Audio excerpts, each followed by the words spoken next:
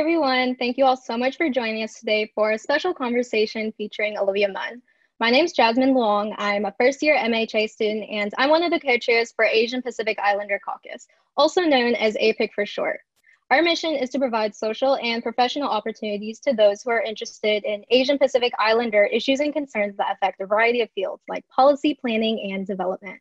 We are super thankful that Olivia could take the time and join us today and talk about topics like Asian and Asian American familial expectations and Asian representation in Hollywood. Olivia Munn is an American actress who began her professional career as a television host for G4, namely for the series Attack of the Show.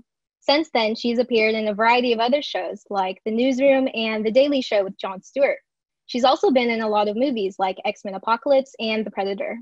In addition to acting, Olivia also invests in multiple companies. She was an early Uber investor and she also invested in the dog walking app WAG before she ultimately joined the latter company as a creative strategist. Joining Olivia in today's conversation is my fellow APIC co chair Jonah Chang and APIC board member Rit Shukla. Jonah is a second year MPP student, and his main interests lie in the intersections of media, policy, and storytelling, which is apparent in his graduate research assistant position at the Media Impact Project at the Norman Lear Center.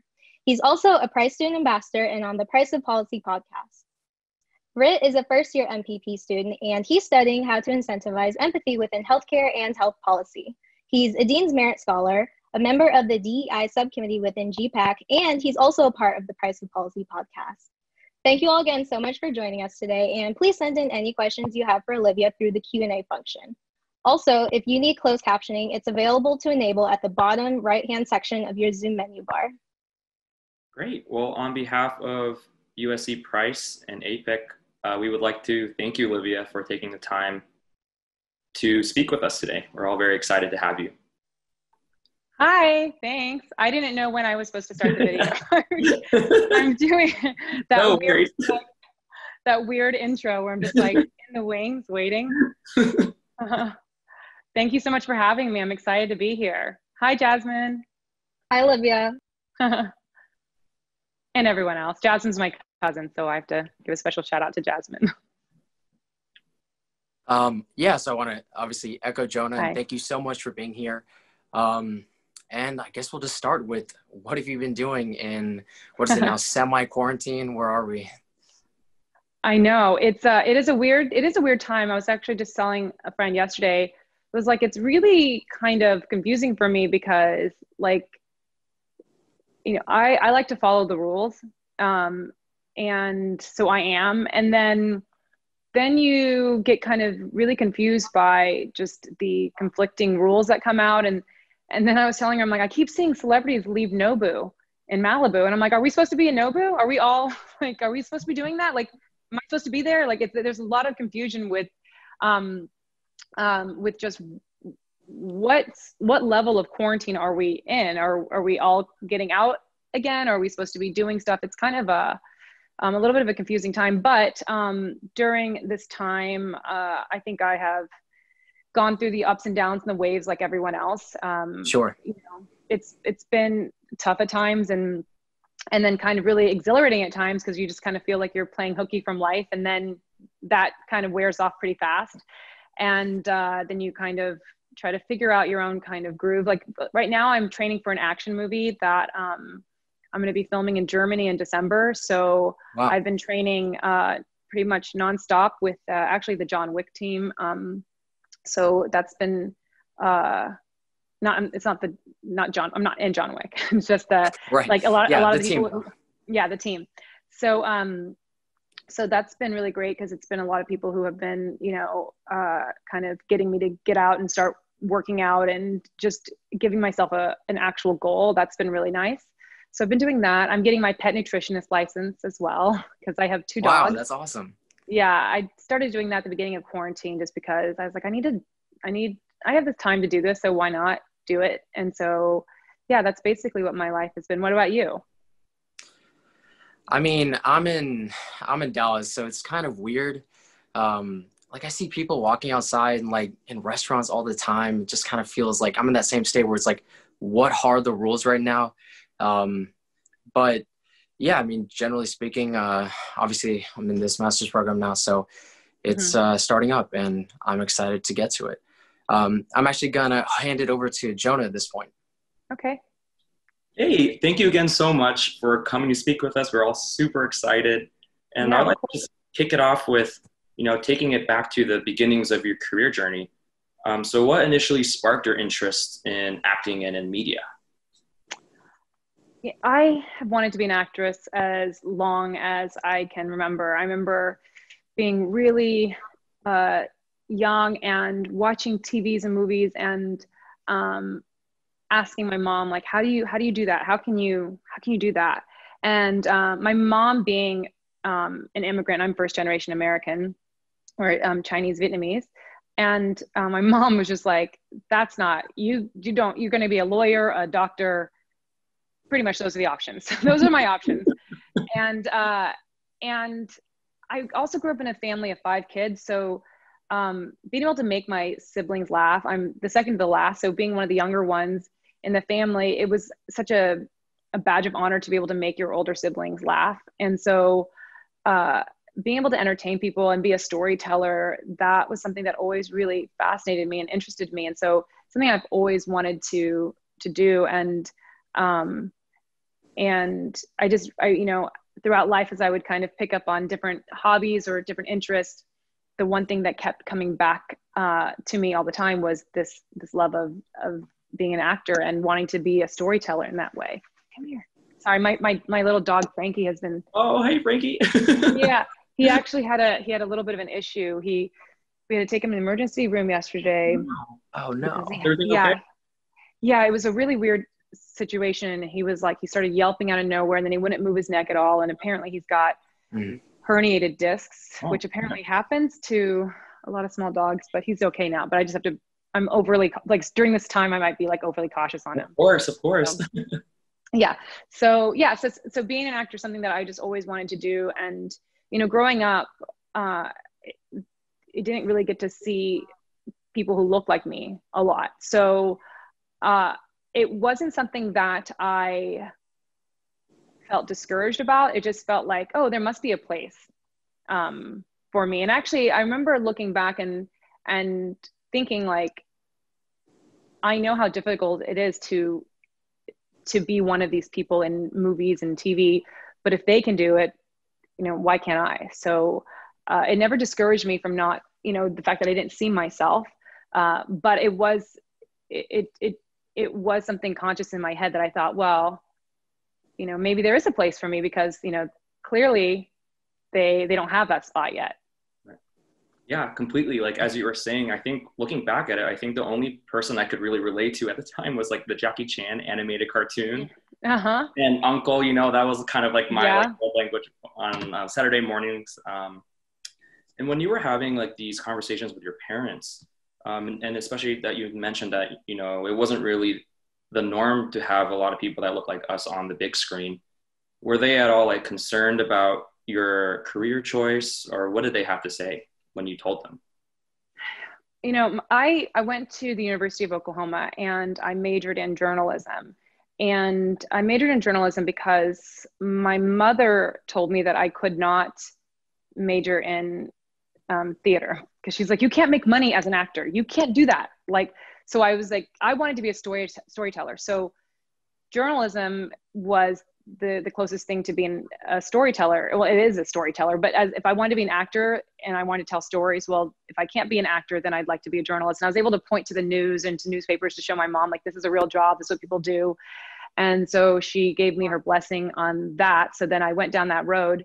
Um, but I never stopped wanting to be an actor. So my mom made a deal with me. She said, um, if you, as long as you go to college and graduate and use your degree for one year, then I will support you going off to try acting. Now, I have had a lot of actually my white friends ask me like, but couldn't you have just done it? Weren't you an adult? But you know, I, you know, I, I find that I find that it's a very traditional in Asian families to really want the, the blessings of your parents. And so even if I could have gone off on my own, I really wouldn't have felt good about it unless my mom said, you know, uh, I give you my blessing and you should go try it. So um, I majored in journalism. I graduated. I used my degree for one year at the NBC affiliate in Tulsa, Oklahoma.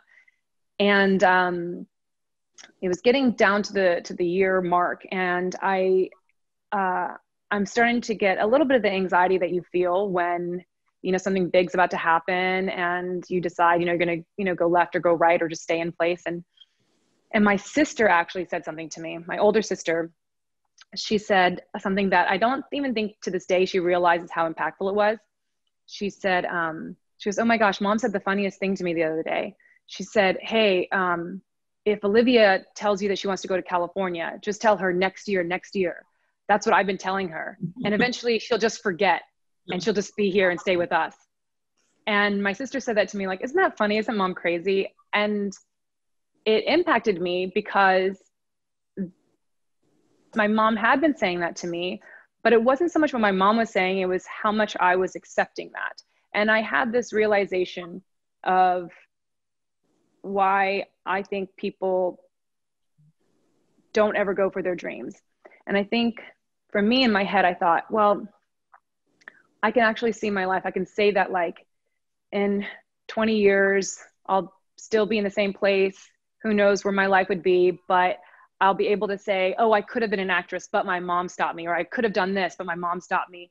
And that would be what my life would be made of was a lot of I could have been this, I could have been that, but someone else stopped me. And so I realized that for myself, just just asking if I could go, just asking for permission was enough for me. I was allowing myself to to say I did my part.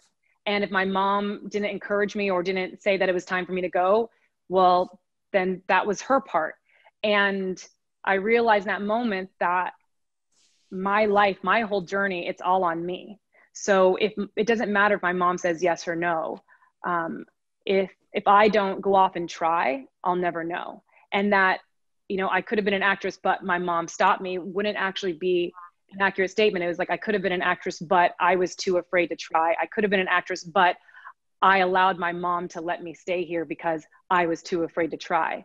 And uh, and so it was a year to the day of uh, my time at this NBC affiliate, and uh, I sat my mom down, and uh, well, I actually sat down in her bedroom, and she was putting laundry away and it was an interesting moment something that's actually stuck with me for a long time because i have an expression uh, that i came up with called um, life happens on a tuesday because it was a tuesday that this moment happened with my mother and um, because you know, it's not the birthdays and the new year's eves and the christmases that you remember at least for me it's it's like life happens in, in the middle of the week you know on a tuesday for me and i remember my mom was putting her laundry away and I was um, sitting on her bed and I was building up the courage to say it.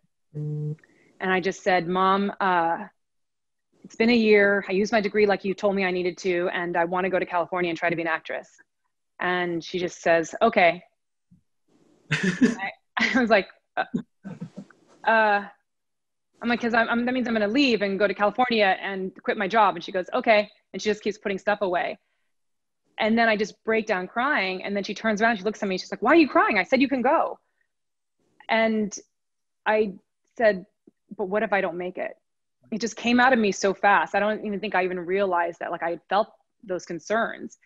And she said, very simply, Well, then you just come home. And the fact that she said it like that, that was the, the, the key that unlocked everything for me. It was that feeling that no matter what I did, my mom would always love me. No matter what I did, there'd always be a home for me to come home to. And that means that I should go explore and try and um, experience life. And failing is not a failure. It'd be a failure if I never tried. And in that moment, it was all, it literally was a well of confidence that I needed, uh, just because I knew that my mom wouldn't look at me as a failure. That was the biggest thing for me. And uh, and then I started, you know, planning my my my my trek out west for gold, as everybody goes out west for gold. And I and I um, and that's basically what, you know, it wasn't that she was a big believer in it. It's just that she um, she just, you know, it was just it, honestly the thing is that she, my stepfather he is an eye doctor but he had wanted to be an actor at one point Oh, wow. And he had um, when my when I brought it up to them, I think he told my mom, you know, like you should just let her go try because I never got to try. So you should let her try. And I think that my mom just was like, okay, you can go. And it all just kind of worked out. Yeah.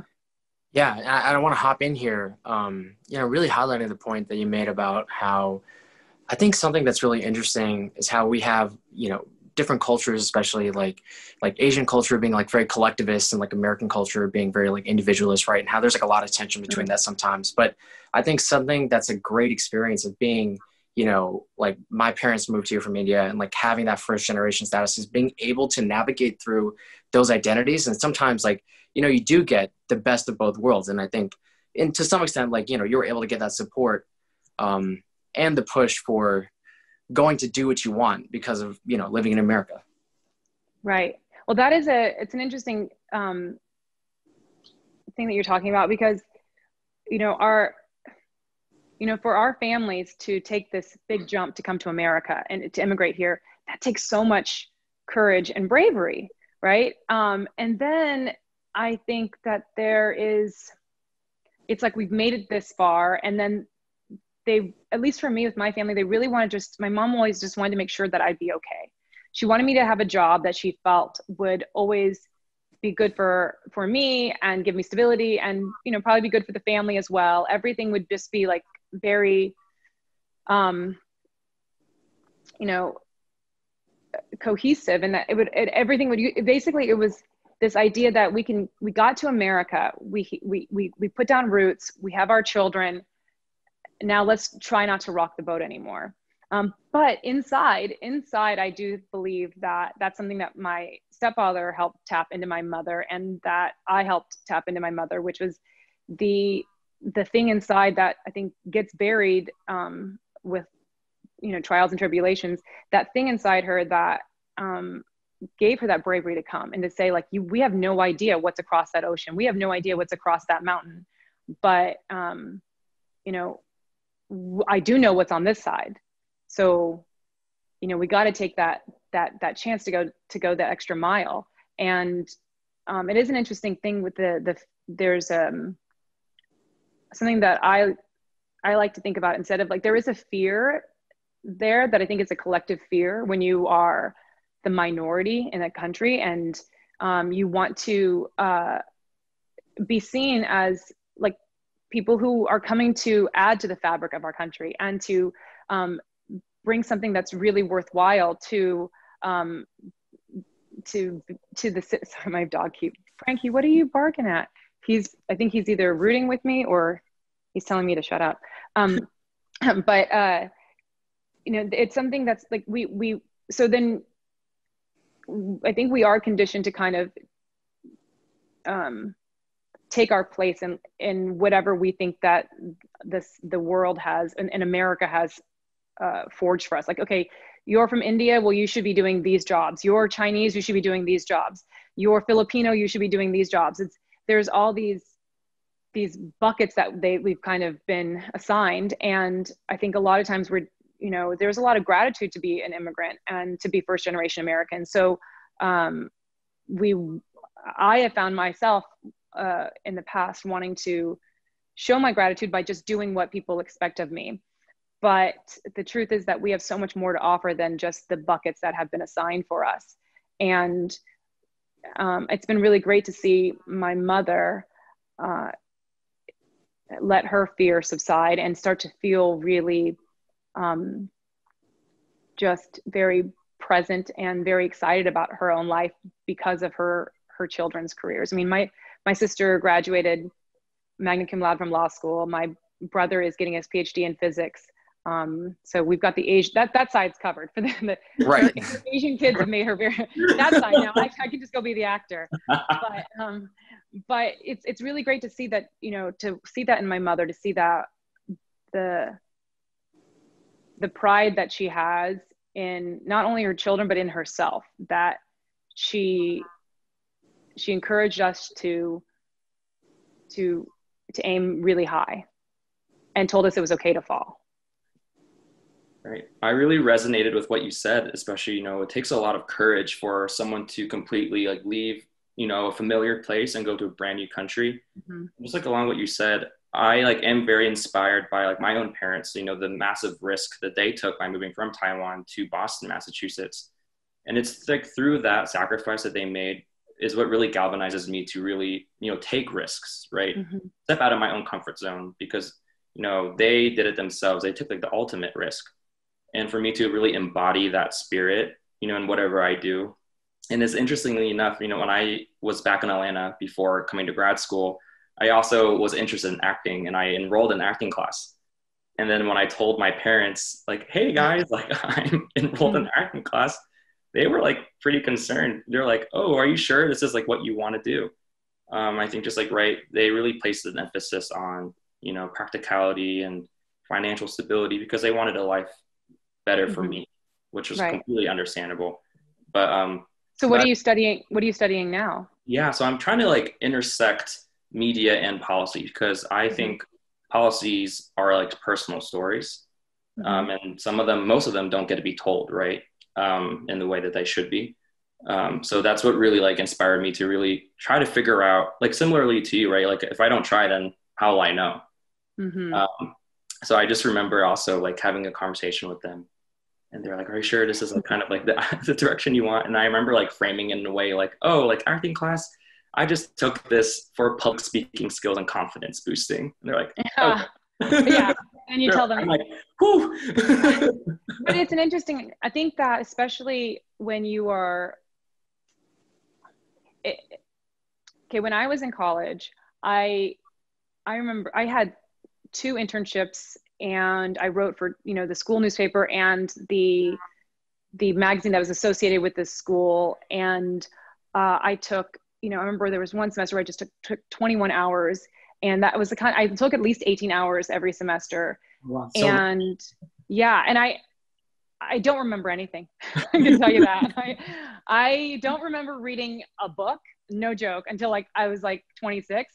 So I'm like, how did I, but I, clearly I graduated college and, but um, but I felt the need to just have a lot of experiences and meet a lot of people because that was really important because I looked at like this time in college as a, as a time to to develop relationships and connect with people so that um, I could have a better sense of what I want to do when I got out and also not just a sense of what I want to do but have connections to that would help me on the other side. Now that being said, I also think it's important to not feel rushed because right now, if you guys don't have kids, um, if you're married, it's one thing, but if you don't have kids right now, it's, it, it really is a great time. You don't have to worry about that responsibility.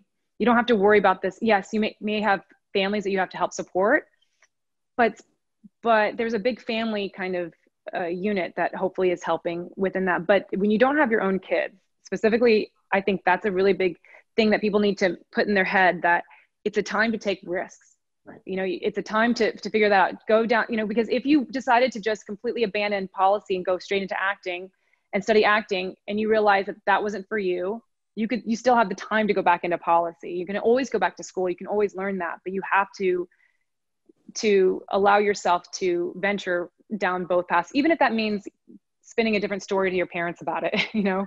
Like let them feel comfortable. I totally understand that. Right. But it's a really important thing because i think I think one of the biggest problems that people face in life is it's not aiming high and missing, it's aiming low and hitting. Mm. That is one of the biggest things that I think you can learn in life is that the problem in life is not aiming high and missing it or it, the problem in life is not aiming high and hitting it's aiming low wait aiming high and missing is aiming low and hitting yeah. Because yeah. if you hit, if you hit low, you're there. Right. You you hit it. You, then what? That's it, right? Like that's that's where you're at. Yeah. Exactly. Yeah. Yeah. You know. Agree. Like everything is definitely well worth the risk. Life mm-hmm. is an adventure, and I think we all should go and seize the moment. Hundred percent. Yeah. I mean, there. That's we. You know, there's. I think it's a Bruce Lee quote that said there. Um, there is no right time. There's just time and what we choose to do with it. Right. Um, all right, so I, am gonna hop in a little bit into like Asian representation in Hollywood specifically now. And what I'll ask first is basically, how do you think API or Asian Pacific Islander representation has changed in Hollywood from the time you began your career to now? I feel like it, it has changed a lot in some ways, and in other ways, it's uh, feels stagnant. Um, you know, when I first came out, and I would go out for for roles, a lot of times I was too white to play the Asian role and too Asian to play the white role, and uh, that did get me down a lot of times. And I I would see roles that were um, very you know ethnic neutral. It didn't matter if you were black, white, Latina, you know, Asian, but they would always go to the to the white girls. Like that's really what they wanted. And um and I there was times when I did feel very uh defeated by that and really wasn't really sure like if I could really make a place for myself here and somebody said to me once and I cannot remember who it was but they said to me I said don't worry just keep at it because uh, they're like at first you're just getting the audition. And then after a while you're getting the call back. And then after a while you'll it'll be down to you and two other girls. And then after a while it'll be just you if you just keep going on that path. Because at one point you're like oh, i'm getting the auditions but i'm not getting called back. And then you're like i'm getting all the callbacks so i'm not getting and they're like yeah that's just the steps. And that made me feel good to know that okay i'm in it. It may not be happening right now but it but I believe it will happen. And within that, this person also said to me, um, don't worry about trying to um, get the roles where they're, you know, you look, because at the time I would be getting close to roles and then I wouldn't look white or Asian enough to be matched with the family or the sister. And, uh, and then this person said to me, and I cannot remember who it was, but um, and it may have been a different person than the first person, but someone said to me, "Don't worry, because one day they'll have to match them to you." And it was just that confidence that somebody else had that changed my way of thinking. It wasn't a confidence that I naturally had. I, I didn't even know how to think that way. But once somebody gave me that thought, it stuck with me and it became part of my DNA and I lived like that. I was just I I was I was waiting for that moment, that moment that would come and I didn't know what shape or form it would come in. But um you know, eventually, you know, it it did it did end up happening that way. Um, but when you look at you know Asian American Pacific Islander representation, it's you know I know it is. It's it's it's just it's still tough because you see, people care about minorities right now and put in and, and representation matters and we understand that, and that's really important to me. But like, I end up finding that um, there's still there's still not enough. There's still not enough, and that's not when I say when people say there's not enough roles. I don't think that's the the reality. There's not enough casting of um, Asian American Pacific Islanders in roles. There are roles. There's plenty of roles. They're just you know not always going to um, people who look like us. But it is changing, and you just get now. I think social media has really helped a lot of times with um, with movements like the BLM movement, or when something seems like it's it's not right, you'll hear people speak about that. You know, I have a friend who his fiance um, is a he's from India and he's a doctor, and he helped uh, create a show, a TV show that's about Indian doctors, and they wanted to cast the male lead as a white man, and he's like, but that's but you know this is based on my experience. And also um, if you go into a lot of hospitals there are a lot of indian doctors. So why why can't we reflect that you know on television as well and i believe that they lost that that battle and it was a white doctor placed in that position but then i saw the other day on tv there was the um, what's that one there's a i don't know the name of it but you know there was like a, it was an indian man as a male lead of a tv show about and he's playing oh, a no. doctor I don't know. and i and um and uh he's playing a doctor and it's and i thought to myself like well that's really great. Like so, there's somebody you know the more that we people talk about it the more that people talk about on social media and, and more that people insist on seeing that and the more that people you you know don't watch the other things and and only and and, and force people to give us something new um, and something that represents us like the more that helps continuing to push open the the doors for us yeah sense. i think there's like i think there's a lot of nuance to it right and it's frustrating because you know we hear all these things about representation and we want better uh, you know opportunities and a lot of the times they exist but they're in name only you know and I think something along those lines of representation is something like Crazy Rich Asians. You know, that represented the first all Asian cast from a major Hollywood studio in over 25 years. And that was the first time that many people saw someone like themselves on screen. Um, did you ever have an experience like that that affected you, seeing someone, you know, similar to you? Crazy Rich Asians. I mean, there we go. Yeah. I mean, it like I grew up watching, you know, like Sandra Oh, Lucy Liu, Ming Na Wen, you know, it was really impactful to see the, that was really impactful to see, but to see an, an all Asian cast in a rom-com was,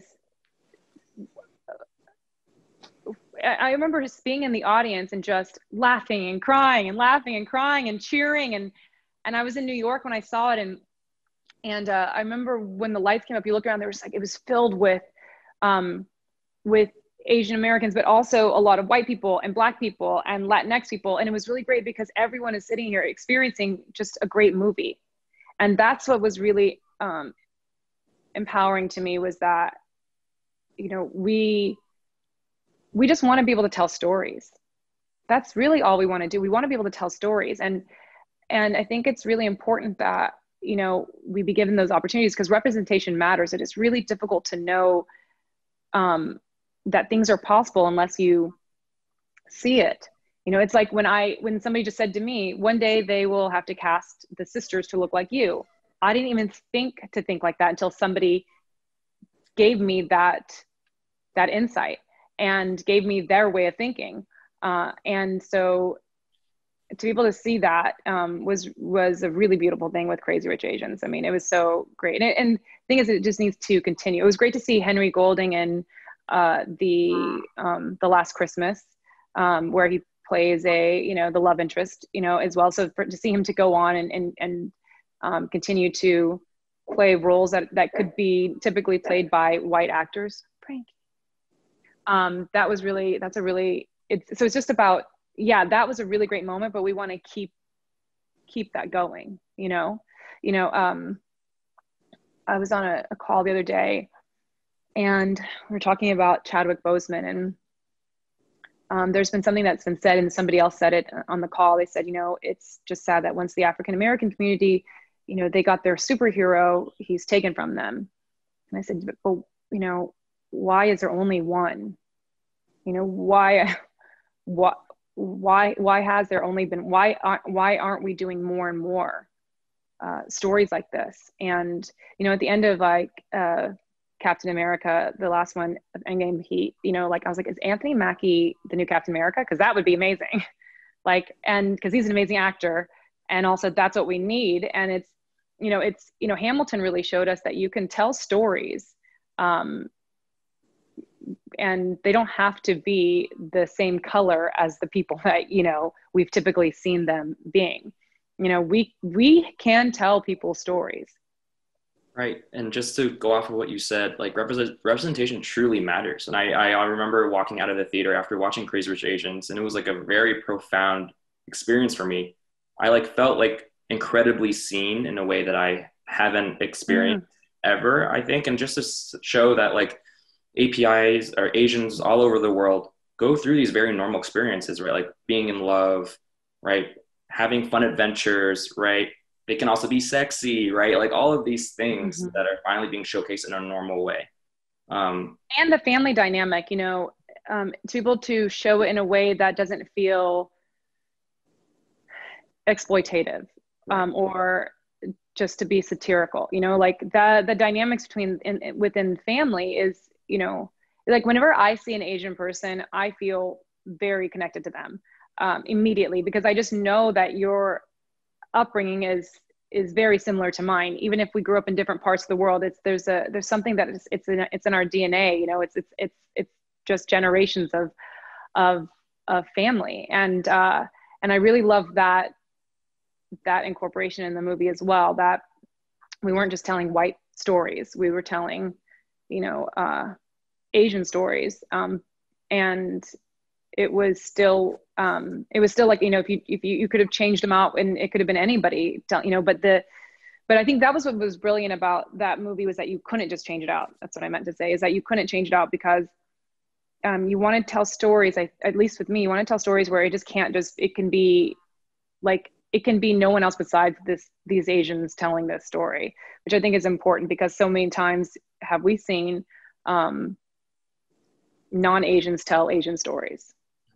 You know and that's a it's always seen through like the you know the white savior that comes in um, through the white eye. And um, it's incredibly frustrating. And and and it's also frustrating because you you hear people you know talk about wanting equality and wanting things to be okay but then they're the same people who will continue to make certain things that keep perpetuating certain stereotypes. Um, something that i'd actually been wondering about is i wonder do you ever feel, I don't know, any sort of consternation or any difficulty expressing or being someone who is kind of this icon for the Asian community, right? When you get interviewed, I'm sure often you're asked to give big statements like we're doing right here about, you know, an entire group of people. And it's definitely not, um, you know, it's not bad or you know it's something that you obviously are able to do but do you ever feel any consternation about that? Or because i feel like i have a difficulty talking about an entire like all indians like that to me sometimes i i feel like that would be weird for me. Uh, it's a great question. When i first started out it was really important to me to always talk about my asian culture. And talk about my mom and you know tell stories about my mom and actually use her her voice and her accent to normalize things in a way and to and to show how, how funny and smart she is and how clever she is and to show you know my family the way that i see it because i it wasn't reflected. I didn't see that represented um, in the media. And so when i had opportunities to be doing talk shows um, you know i would be talking about my family stories. Now my family is individual to me clearly and not all asians have the same upbringing but i think there's a uh, there's a lot of them that that do um, but also it's a way of talking about it. There was like there's a in my opinion there's like especially being asian american there is this no matter if you're you know japanese thai indian you know chinese vietnamese there's like a truth kind of serum that kind of i think that we all we all have. And so speaking truthfully about my experience with my family or like i remember one time i did um, a talk show and I, I was talking about how um, uh, i my my niece who was really young at the time like four years old she was getting bullied at school and i gave her some advice she told me one night she's like this you know auntie oh this this boy's been pushing me. And i'm like oh, what's what's going on? She tells me i'm like what's happening? And she says uh, that this uh, this boy's been pushing her at school. And i said well what did you do? She said well i went and told my mom and my mom talked to the teacher. And i said well what do they do? And they said well they said that next time he pushes me to let them know um, but they told him not to push me anymore. And i said okay well did did he push you again? She said yes. I said so what did you do? She goes i went to my mom and told my, my teacher and i'm just in my head i'm like this circle is going to go on forever so i said okay listen to me the next time you that boy pushes you tell your teacher, tell your mom. But the next time after that, I want you to take your hand like this. And I want you to ball it up and make sure your thumb is on the outside, not on the inside, because you'll break your own your own thumb. And I want you to pull back as hard as you can, and I want you to hit him. And don't stop until he can't get up. And then she looked at me with these wide eyes and like laying in bed. I said, okay, good night, love you. And I walked out. And I said to my sister, don't worry. I heard about the kid. I gave her some advice. And she goes, oh my gosh, I know it's pretty exhausting. I said, I, I, uh, I told her what to do. She's like, what'd you, what'd you tell her? I go, I told her to hit him. And she got so mad at me. She's like, we do not hit in this family. And I said, I don't know what family you grew up in, but we hit in this family. like that's, my mom we had some you know my we'd get we get the swats and we were like in martial arts since we were four and so all the kids would just battle each other and it was mortal kombat for real in my family and uh and it's funny so i was telling this this story on a talk show and i had said that um and i was like because i think at the time i said i went to the crowd like you know maybe i asked the crowd i can't remember but i remember saying like I feel like Asians, like we, they hit in the family. And I thought, well, maybe it's just my family. And so I made this general statement, but then also I was like, ah, but it's also my family. And I feel like there are people who relate to it and it's, in, it's a, in, in a different way. Um, but it was obviously we're much more PC now. And so there's like the whole thing of like, are people hitting and it's fine. But there's a, it's, it's people who, if you're Asian, I think that you kind of understand what I'm talking about. And if it didn't happen in your family, at least you have like cousins or different people you understand. And so there was a little that that that kind of truth serum, I think, was important for me to kind of talk about in a way that is not going to be understood by some, but will be understood by a lot of people I think who look like me and came up, you know, in the same ways that I did. And I do, I do feel um, not a responsibility, but I just want to talk about being Asian. It, it means a lot to me. It's um, it's a huge part of my identity. Um, I am half white, um, but I was predominantly raised by my mom's side of the family, um, which my mom is one of nine children. You know, they came to America um, the day the war ended in Vietnam, like the, like on the boats, went to the Philippines, came out here. You know, I'm uh, I'm just like it's it it. I take a lot of pride in being able to to say that I'm Asian and to talk about it and if it if it if talking about it normalizes it for more and more people to be able to um, think about casting more asians and things um, and giving them those opportunities then then that means a lot to me and i have a i just i really love um, I mean, I love being Asian. it's like it's like what Sandra O oh said, right? It's like it's it's just it's an honor just to be Asian. Like that is like that's how I feel. So I I I understand your feeling of like speaking about a whole entire group of people, um, which, you know, um, I don't claim to do, but uh, I talk about my experience and I'm proud of being Asian. So I like to, to talk about that as much as possible. Of course, right. You know, we all have certain elements of a shared culture. Absolutely. Mm-hmm. Um, all right, so uh, quickly here, last thing I wanted to ask was, do you have any advice for API individuals who are struggling to strive for their passions amongst family expectations, peer, peer, peer pressure, etc.? Yeah, the, the best piece of advice is um, what I said earlier, which is to remember that the problem in life is not aiming high and missing, it's aiming low and hitting. If you hit that low target, you may be stuck. You know, you you got to you got to try. You got to and and trying is not just wishing for it and hoping that it works out. It's actually like doing the work, studying, working hard.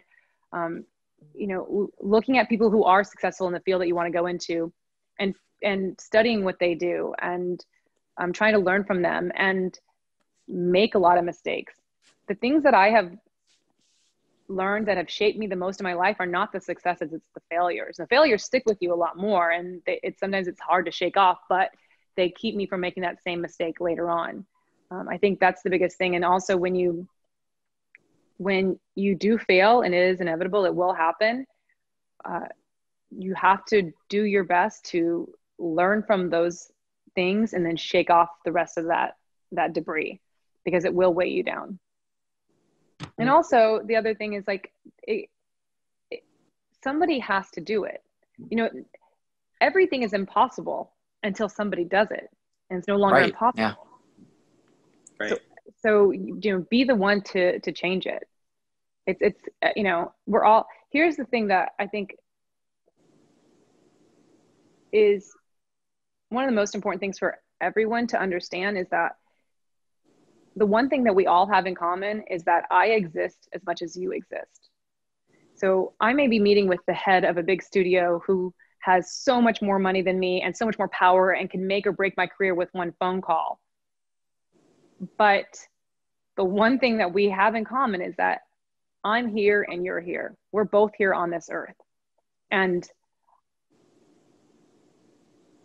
my journey may take a little bit longer because I may not have your resources, but I have the same ability to make something great happen just as much as you. So you have to really remember that no matter if you're talking to somebody who looks like you or doesn't recognize you or doesn't see themselves in you, it doesn't matter because you, you are you are there as much as they are there. Yeah, you're completely right. Like it's up to us to see the change that we want to be. You know, hundred percent. Our life is our own, so we gotta yeah. go out and do it. Yeah, you have to. You have to. How will anyone know you're worth it if you don't? Exactly. you have to know, even if other people. I mean, even when other people don't believe, you know, I deal with that all the time. Like this, this business is rejection all the time, all of the time, and you have like then there's the public rejection. There's a lot of stuff but like you have to take the criticism when it's needed right. but still know who you are and keep forging forward. Um, because you know how will the world know you're worth it if you don't? You have to know it first. And once you know it people will just will follow and gravitate towards that. And dare to be something different and don't lose yourself no matter what. Like the thing that makes you you the, your sense of humor your your the way that you think your family background all these little things all these moments this is what makes you you. Right. all of these moments all the struggles um, all the joys everything. So don't don't lose that. Once you get that that moment of success and you feel that thing that comes up is like how do i hold on to this? I don't want to lose it well, most people become very vanilla and they lose themselves and they just try to like go with the status quo because they don't want to lose this. Always, always challenge the status quo and always bring you with you. Don't leave that behind. Don't fall into the rest of the crowd. Always like challenge yourself to be as much of yourself as you can be. And it sounds maybe a little silly to say that, but it's one of the hardest things is to really believe in yourself and to be yourself and to not get caught up with everything else. And it will happen, and it will happen. It will happen, and it will happen for the rest of your life. And you'll always have this confusion and doubt. Um, but just know that it will come and be ready to to ride that wave back down to the other side. Right. Right. The learning never stops. yeah. Um, before we head into the audience Q&A, is there anything that you would like to share with the audience? Maybe like an upcoming project or an initiative or anything? Um, right now I'm just, I'm training right now. Mm-hmm. Um, and, uh, and so I have a movie, I, I, don't even know. I mean, it's been announced already. It's called replay, but we haven't even shot it yet. Um, and there's some other stuff that will be announced later, but nothing right now. Besides people um, rescuing their pets, if you guys are looking to rescue um, or bring an animal into your life, uh, I rescue both of my dogs, and um, I'm with the Shelter Pet Project.org. You can go and look up for look shelter pets up there, and then also the Stay Home and Foster.org program is really great. So, anybody wants to add a, a new furry friend to their family, please think about adopting. Right perfect for quarantine too. yeah, help save lives. exactly. right, we'll head into the first Q and A question from Rit. All right. Um, so we have we have an excellent question here um, about you know how do you feel about the conversations surrounding Black Lives Matters within our families, right? Like typically they aren't automatically on the same level as maybe people um, that uh, that we feel. And like that those conversations within the greater asian community if that makes sense. Mm, can you elaborate more specifically. Yeah my bad. Yeah, yeah. Yeah i mean i guess talking about it like i had to talk about it with my parents a little gingerly right? I had to come up to them and like explain to them you know it's it, obviously it's a very tumultuous time and bringing up this kind of discussion, uh, I think in line with the things that we talked about earlier, they're more focused on trying to get by themselves, right? Trying to figure out how to live their lives. And putting this conversation in front of them often seems difficult. Um, and I think that that might be happening in a lot of families right now. And I wonder if you have any insight into how many, um, how like that, the delicateness of that conversation. I'm really lucky that my my mom is um, very inclusive and very open-minded, and, and, my family were very outspoken, and so we talk about a lot of things. Um, but I do understand and see what you're talking about about you know about especially families who, who have immigrated to america and and there is this sense of we just got to survive ourselves. You know we can't really we got to worry about taking care of our family and paying our bills and and um, uh, that it's hard to to get people to understand that you know uh, there's that there's well i think that they do understand. I think that's the thing. I think well me say. This might not be the right thing to say but my my gut instinct is that i think it's if it's important to you you talk about it to your your family. And uh and you don't ask them to do anything. They don't need to hang banners or go in march or post things um, just that they can hear you and hear how you feel about it um, and have a discussion i think that's that's important i'm to say i feel like we we ask a lot you know every everyone gets asked to do a lot you know and i think there is a lot of anxiety that comes with did I say the right thing? Did I do, you know, remember the, the, the, the black, the blackout, the black box for, right. You know, yes. Everyone's yeah. like, how did that start? Where did that start? You know, or the black and white photos with the women. The challenge accepted, like, right. Oh man. It's like, you know, there, it's this weird game of telephone. And I think at the end of the day, the biggest change that we want is to happen in, in people's homes and in their hearts.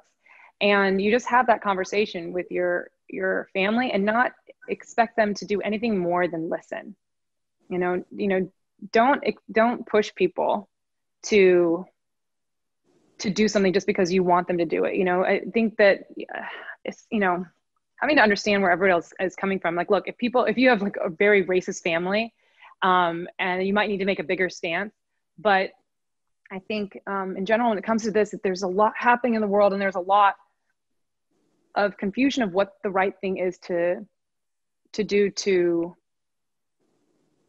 to support. And if you want to have these conversations with your families um, i think they are really great but um, you know don't don't put the bar so high that it's unattainable for people to to reach you know sometimes the bar like sometimes we're like and i want us to you know go out in March and and and start posting this, and then and you want their mom and dad to hold you know put up banners and do all this stuff. It's like sometimes you know just speak from your heart and have that connection with your your loved ones um, because that's what matters the most. Yeah, I, I really appreciate that answer because I think that you know it's difficult to talk about this stuff sometimes, but I think we can all agree that you know talking from the heart, right? That's something that we can all agree on. Mm-hmm. Yeah. Right. Um, for our next audience Q&A, um, there was a question about the model minority myth. Um, so the question centered around how did you overcome that myth growing up and even in your day-to-day as an actress in Hollywood? What is that myth? Model minority? I don't think I even know what that is. So it's basically like the myth that Asians and Asian Americans are just really good all the time, just like keep their heads down, don't oh. speak out, you know, like just like meek yeah. or shy, right? Yeah. Yeah. Yeah. Um, well, I'll tell you that, you know, a lot of it had to do with the roles that I just wouldn't choose. And I have to say, I, you know, the, turning down a lot of projects, turning down a lot of work opportunities, um, that was tough, but it was that I didn't want to perpetuate stereotypes. And if it didn't feel true to me, you know, I'm not, um, my family, they're not the quiet, polite Asians. you know, they, um, my family, they're loud and opinionated and have worked their asses off. You know, my my mom and her um, eight brothers and sisters, they came here, like I said, the day the war ended, and um, they didn't speak any English. all nine children went off and got multiple college degrees. Um, one worked for NASA, one was a top engineer at Ford, a few doctors in the family, teachers. They have all made something of themselves, and they didn't do it by being quiet and and and polite. Um, and that's just not my experience. Um, and so, uh, for me, it was always about finding projects and roles that I could connect to. Um, but also, as an actor, you want to put on different hats and you want to try different characters on. But uh, I just I would never take anything that was a stereotype, and and that meant that I wouldn't work, and that meant that I was, you know, um, eating my top ramen, you know, for a few more weeks. You know, that was okay. That I would I would do those things. Not everybody's in that position, or I guess can eat that much ramen, but I. Uh, um, you know it, it you have to make the decision of what your line is and uh, and in, in this business specifically there are a lot of white people telling the stories of minorities. Um, and you have to be the one to say that's not right. That's not accurate. And lead them back to to the line. Um, so uh, yeah i guess it's I, I do I do get frustrated when I see other actors uh, portraying that or um because it's not that it's not accurate. It's just okay the way I can say it is like um there are a lot of roles that come through for for um a, you know a female character and she may be like very upset about her boyfriend and she's like super panicky and just like always jealous and um and i'm not saying that those people don't exist.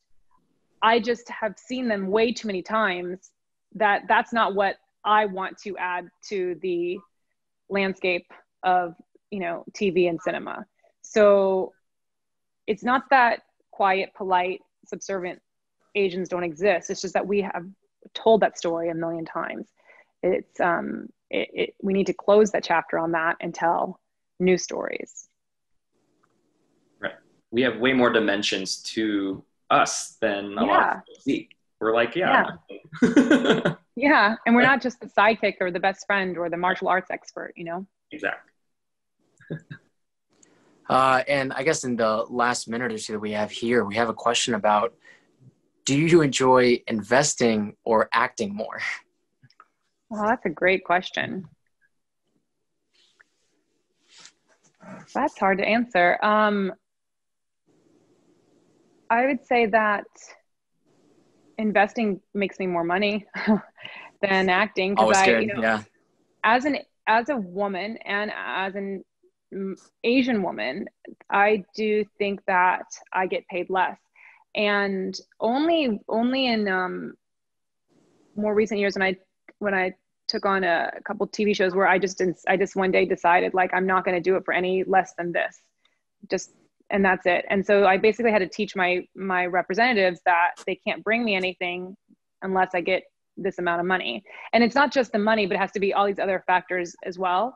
But in film there's a there's a you know there's tv quotes and then there's film quotes. And the quote system is actually illegal now in the state of california so you, they can't go in your quotes. But there's like a, a there's a there's a level of what they will pay people. And the men is usually it's you know, I was watching that show Mrs. America on Hulu the other day, and they're talking about how like, oh, you know, women are getting paid, you know, 56 cents to every dollar that a, a man's getting paid. I'm like, yeah, that's still like how it is, you know, and it's how it, I see it out here. I know what people are getting paid and I know what I'm getting paid. And so that is the frustrating thing um, for me. But when it comes to investing, you know, you put your money in, you believe in something, um, and the numbers are there and they come back if you put this x amount you get this much you know um, in um, in acting uh, it's you don't get that kind of return you know you can put in a lot more than they'll give you back and um,